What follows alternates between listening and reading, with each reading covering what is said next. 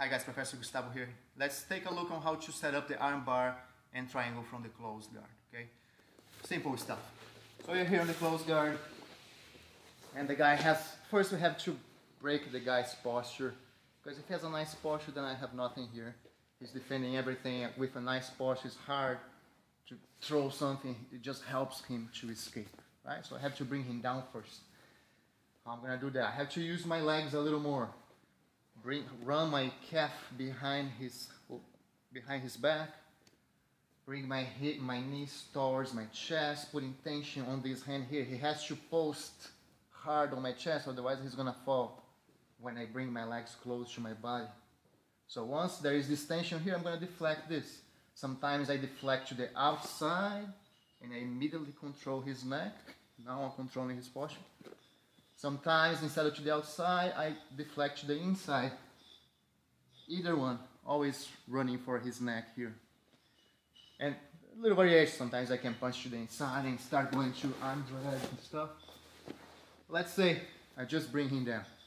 So create tension on this arm using my legs. Now I can deflect this. Control his neck, right? Once I control his neck, controlling his posture, now most of the time he's gonna try to regain his posture by pushing off on my body.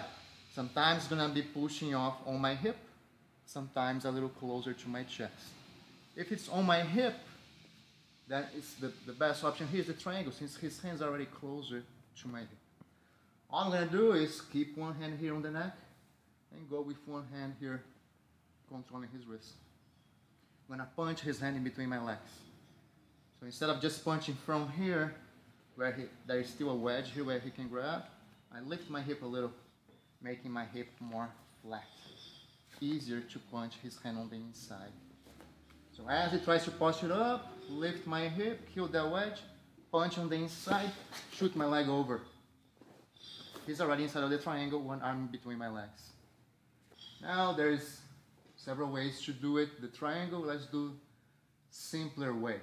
Okay, I'm gonna control my ankle here. From the neck, control my ankle. That's the posture control I just replaced. Step on his hip, dig my hand under, get my angle, making sure that my hip is touching my hip, my knee here, right? That's why I'm stepping on his hip. If I'm stepping on the mat, there is a space for his arm to clear. He goes for double unders. Right here, I'm fine. Make sure my shin is parallel to the mat. There is no space here. I'm biting his neck. I lock my triangle, squeeze, pull down, lift the hip, hips up, ready to finish. I don't even need to cross his arm. I get the angle instead of crossing his arm. So one more time here. Bring the guy down, run my leg here, deflect, control his posture. He's gonna try to push on my hip to push it up. Control the wrist, lift, punch on the inside. I'm good to go. Just replace the neck by my shin, step on his hip, get my angle. I have my triangle here. Second option is, he has a nice posture again, deflect, control, and now he's gonna post on my chest instead of on my hip, right? It varies from people to people. Now what I'm gonna do is, since he's posting on my chest, trying to push it up, there is a little more space for my leg. So I'm gonna control his elbow and step on his hip. And my goal here is trying to move his elbow towards the center of my body. Because if his elbow's clamping here on my hip, I can't pass my leg over his head.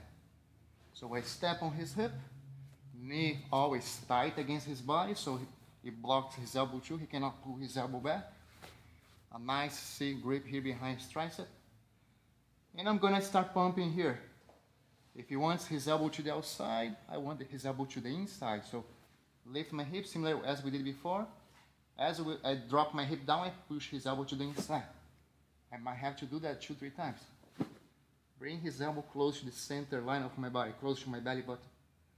And then the arm bar is pretty much here. Climb this leg as high as I can, as I get my angle, pushing off this foot. Let's do a little different. Instead of passing my leg over his head, I just pass over his shoulder and I lock.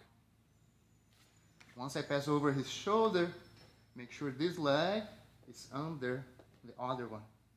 If it's over, it's too much gap.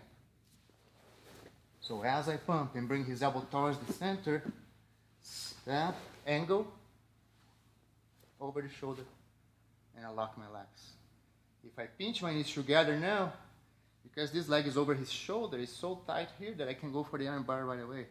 Just slide my hands to his wrist, lift my hip. I don't even need to pass my leg over his head. If I ever need, yeah, just push his head. And I have my arm bar. He has a nice posture. Create tension on this arm by running my legs. The flat, nice. He's posting a little close to my chest. There is more room for my leg. Control the elbow. Step, pump, pump, pump. Catch tight. Over his shoulder. I cannot miss his shoulder here. So I drive my leg against his head.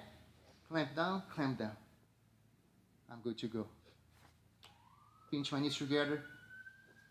Lift my hip. Arm bar is right there.